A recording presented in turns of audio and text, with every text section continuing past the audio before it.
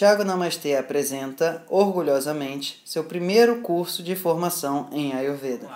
Então, assim, é, orientações importantes para uma boa alimentação segundo a Ayurveda. Um, mais importante, tá com acne ligado, tá com bom apetite. E aí, é, indicativos de que você está com bom apetite. A sua fome é inespecífica, anota. O que, que é inespecífica? Inespecífica é, tem almoço aí? Depende do Não é do tipo assim, tem, Tem lasanha? Nada. Se não for lasanha, eu não quero comer. Isso não é fome inespecífica. Fome inespecífica é, eu estou precisando de comer. Então ok? volta, qual é a primeira coisa? Então, é fome inespecífica. O é que é bom, bom. Oi? Tô com fome de legumes. Tô com fome de legumes, a gente vai conversar depois. É, É, seria algum grau específico. Ai, meu Deus. Mas aí a gente pode ver se isso é um- uma regras coisa para uma boa. Oi? boa digestão. Para um bom, para uma boa é, processo de é, alimentação em termos de comida, ok? Então, você está com fome e essa fome é inespecífica. Um, ela é forte. Dois, ela não é uma coisa que você está assim, ah, eu tô com uma fominha, mas já posso almoçar daqui a pouco. Não, você está com fome. É claro que isso é muito mais presente nos pitas do que nos cafas, mas é uma Mas um fome. momento, é. É, você tá com fome, sabe? Pô, tô com fome. Comer. Você tá reclamando que você tá com fome, né? Tipo assim, pô, eu tô com fome, onde é que será que a gente vai comer? Que é a fome que os cafas normalmente têm. Nessa hora, os cafas devem continuar tomando, é, comer o, o gengibre picado com um pouco de limão, sal e, e um pouquinho de sal, mas principalmente pimenta do reino. E ficar mordiscando aquilo dali, para estimular o apetite. Os, vatos não precisam disso. Os vatos precisam estar com o negócio pronto, porque na hora que bater a fome, ele tem que estar ali morninho. Certo? Qualquer coisa serve pro vata, né? Não, pro vata é bom ele tomar, é que não precisa hidratar. É bom Não, porque assim, ele não um tem uma ligação muito doce. forte de tipo, nossa, uma comida maravilhosa. Ah, daí ele fala, ai que saco, tem que sair pra comer. Essa é a vida É, do parece muito no Chico, que tipo, ai que maravilha, qualquer coisinha tá bom e tal, tá nem É aí. bom. Aí, assim, esse é o primeiro aspecto, fome forte, Inespecífico. Aí, do, é, outro aspecto que é importante é sem nenhum sinal de arroto da, com gosto, com qualquer gosto. Então, se por exemplo, Um isso acontece mais de tarde, você dá um arrotinho e você acha que está com fome, mas ainda tem gosto do almoço, ainda não está na hora de comer. Mais informações, sério Ayurveda Bem Viver, esse processo de digestão está muito mais bem explicado. Tá, mas calma aí, rapidinho, eu só entendi sem gosto. Tem que estar sem gosto, Tem que né? estar sem gosto. Porque tá? senão você ainda não digeriu, você tá lá e não tá isso. com gosto da comida. Você tem que estar se sentindo leve. Tá? Porque muitas vezes você pode estar com fome, mas está sem, sem se sentir leve. E se você não se sentir leve, mesmo com fome, não come. Não é para comer ainda, você tem que sair para andar. Ok? Ou pode fazer uma outra, uma prática, tipo, Pode fazer, por exemplo, o Kapalabhati. uma yoga cria antes de almoçar, seria bom. Poderia fazer, não tem problema. Mas o Kapalabhati é o mais importante para tirar o tributo de peso do estômago. Certo? Que a gente falou Já disso vou mais começar a cedo. fazer já. pra- É, isso. Então, é. Bom, é. Um. Olha como é que o Agni abaixa, viu?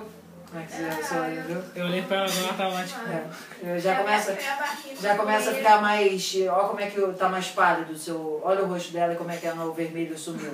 Tá vendo? O Agni agora sumiu. voltou, né? Agora voltou, mas assim, a pessoa vai ficando mais azul, sabe? Vai ficando mais cinza.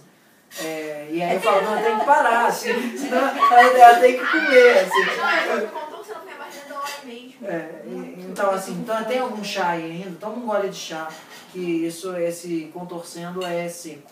A gente já vai sentar para comer. É, é. O vato normalmente deveria tomar chá antes da refeição, porque não está seco demais. Eu É, quero, eu quero chá então. Quero chá. Fechar isso. Mas ela tá com fome, tá doente, tá faltando. Arranje um copo para ela, que nesse momento o sistema dela já dá mais vato do que qualquer coisa. É, aí, bom, com fome, é, sem nenhum sinal de arroto com gosto da refeição anterior, se sentindo leve e o mais importante de todos, de bem com a vida. Certo? Você não pode, na perspectiva do Ayurveda, sentar para comer triste, irritado, Estressado. ansioso, estressado. Você precisa fazer alguma coisa. Nada de shodana, caminhar, é, sentar e olhar a vegetação. Você precisa fazer alguma coisa para na hora que você comer, sentar para comer, você tem que estar de boa com a vida. faz uma oração se isso ajudar, não importa. Mas esse é o mais importante de todos, porque eu atribuo a, a forma mais rápida de você sair de Samagni é com emoção, certo? Então, as emoções mais pitas frase vão te levar. A, forma mais fácil de você sair de Samagni é com as emoções. Ah. As emoções mais pitas vão te levar para Tikshnagni, as emoções mais capas vão te levar para Mandagni, as emoções mais vatas vão te levar para Vishamagni. Então, emocionalmente, você tem que estar bem quando você vai comer. Se não, espera, porque senão aquilo só vai virar toxina. Faz alguma coisa. O Cafa até com fome tem preguiça de comer, gente. É. Vai que eu vou comer, que preguiça. Ou seja, se você é uma pessoa não. muito estressada, você tem um problema que você, sei lá, você tem muitos problemas. Você não consegue chegar num Samagni sem tratar isso. É, você é, dificilmente vai ter um processo de metabolização perfeito de uma hora para outra, sim. A gente lidar com o estresse mental é um aspecto muito importante para a gente garantir um bom metabolismo. Sim. Isso significa que você vai começar nessa situação de estresse muito crônico comendo coisas que vão fazer menos mal para a pessoa, para o agravamento dela, para a mente dela poder voltar a ser lidável. Senão o cavalo está solto, indomável. Eu tenho que ter, pelo menos deixar o cavalo perto de novo. Entendeu o sentido da coisa? Não dá para uma pessoa que está num ritmo de vida completamente diferente disso daqui, você virar e falar para a pessoa, você só vai poder comer quando você não estiver estressado. Aí ela não vai comer nunca. E se, por exemplo, tá, minhas amigas me convidaram pra ir jantar sushi. Me convidaram pra ir comer pizza. E eu vou dizer, não, eu sou vata, eu não posso, porque eu tenho que tomar minha sopa, meu caldo, e então eu só não vou, Você vai- porque eu vou ficar totalmente depois desregulada e Você eu vai pra pizzaria e você vai pedir uma sopa lá. No início é difícil, mas depois.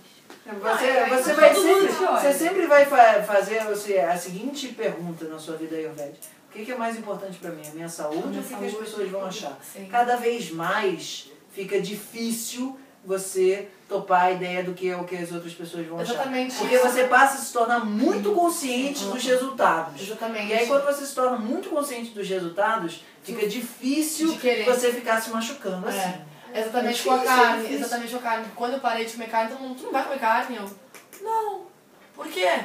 Porque eu não, não, não quero, não tô afim. É é muito chato ter que ficar dando explicação por que, que eu não como mais. Não como porque eu não quero, não sou obrigada.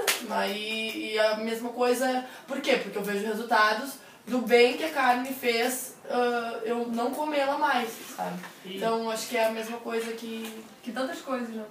Tá? Então, assim, com isso, eu vou guardar a pergunta das excretas da, pra depois, porque eu sinto que eu preciso parar. assim, certo? Porque senão, assim, até a, a galera mais cafinha já tá, sabe, com a energia Não, mas baixa. eu falei pra ela, a Então, consolação fez é, pergunta no final. é, é, então, Ela tá brava. ó, isso é Parabéns. Pita parece? Isso é atributo de pre- penetrante, ó. E daqui a pouco o Pita grava mais e fala assim, por que, que você fez isso? Não, e o Cafa jamais faria isso. Jamais pensaria isso. Tipo, por que, que o outro perguntou? Ah, deixa ela perguntar. Afinal, ela tá com dúvida. E aí, curtiu? Quer saber como cuidar ainda mais da sua saúde? Então entre em contato e marque uma sessão.